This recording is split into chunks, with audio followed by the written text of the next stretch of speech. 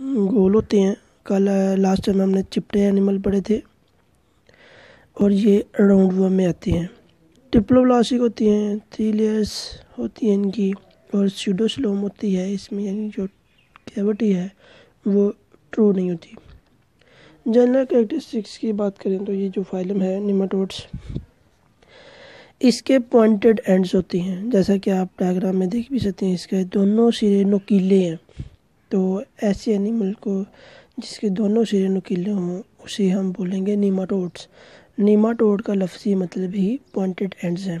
Round worm ہوتے ہیں ٹرپلوبلاسک ہیں تھری لیئرز ہیں اس کی باڈی کی۔ سیڈو سلومیٹس ہوتی ہیں یعنی اس کی باڈی کے اندر جو کیوٹی ہے سلوم ہے، وہ ٹرو نہیں ہوتی۔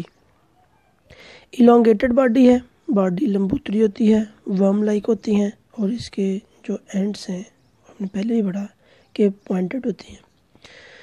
باڈی فیچرز کی بات کریں تو باڈی جو ہے وہ اس کے دونوں اینڈ سیملر ہوتی ہیں۔ یعنی آپ دیکھ کے اس کو ڈفرینشیٹ نہیں کر سکتے کہ ہیڈ کون سا ہے اور این ایس کس سائڈ پہ ہے۔ دونوں اینڈ سیم ہوتی ہیں۔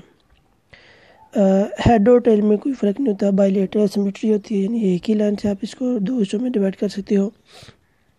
نان سیگمنٹڈ باڈی ہوتی ہے، باڈی کے سیگمنٹ نہیں بنے ہوتے جیسے کہ ہم نے کل ٹیپ پر میں دیکھے تھے۔ اس طرح کے ویسے اس کی باڈی میں سیگمنٹس نہیں ہوتے، ایک ہی باڈی ہوتی ہے۔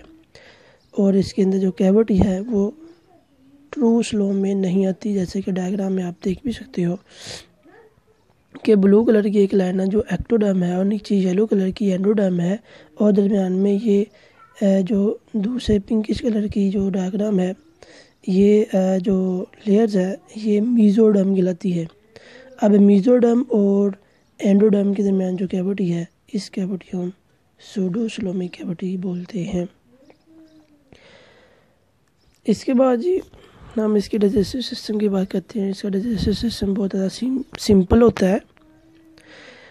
ٹیوب لائک ایلیمنٹری کنال ہوتی ہے۔ یعنی جیسے آپ ایسے سمجھ لیں کہ آپ نے بال پوائنٹ دیکھی ہوگی بال پوائنٹ باہر سے ایک پائپ ہوتا ہے اور اس کے اندر ایک مزید ایک باریک سا پائپ ہوتا ہے جس پائپ کے اندر انک ہوتی ہے۔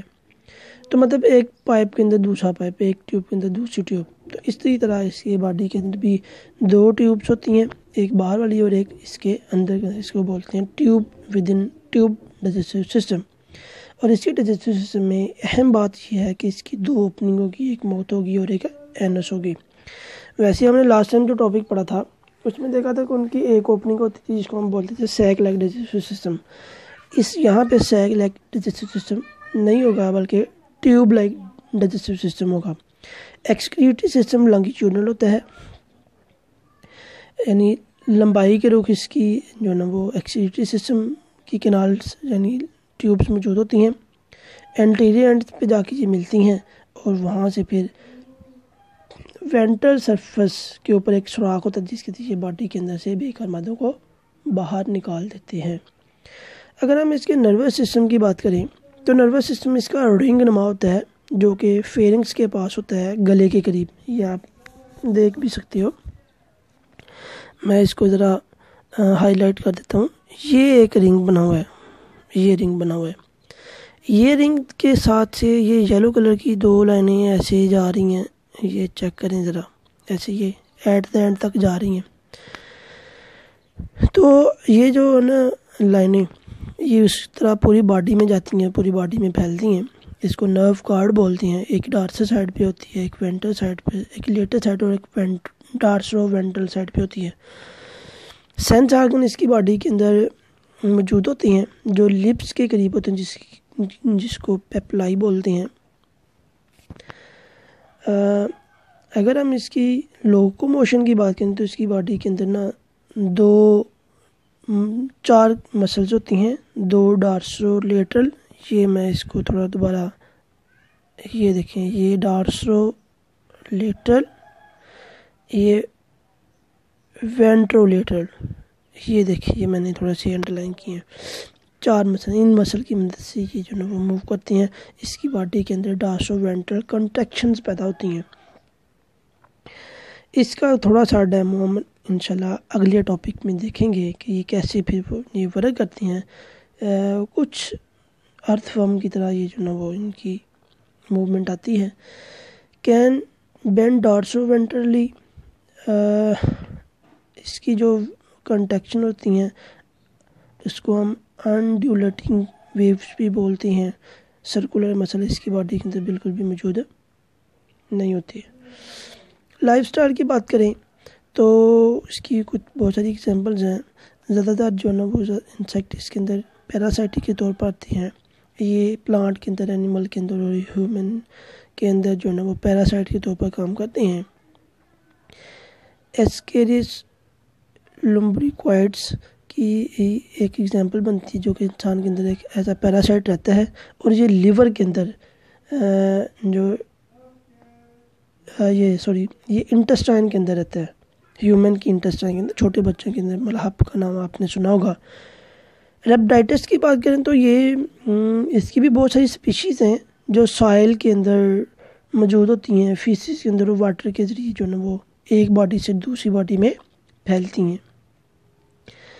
اسی طرح اگر ہم پیراسائٹک میتھڈ کی بات کریں کہ یہ پیراسائٹ کیسے پھیل رہے ہیں، تو اس کی ایگزامپل ہے اینٹروبیس ورمیکولیرس یہ پن وم بھی رہتی ہیں۔